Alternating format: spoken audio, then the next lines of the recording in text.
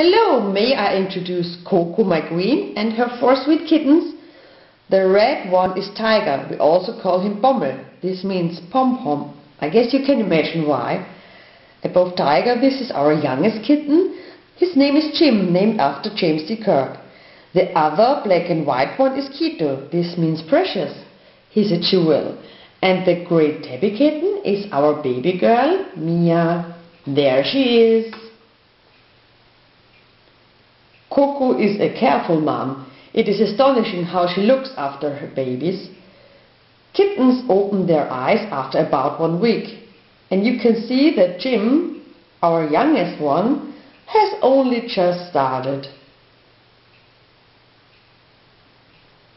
Look at him. Yes, this is Jim. He's so cute. You can see that they are already trying the first steps step by step, little pause, yes, one more try. So stay tuned. I will keep you informed about my cute and funny kittens bunch. Bye!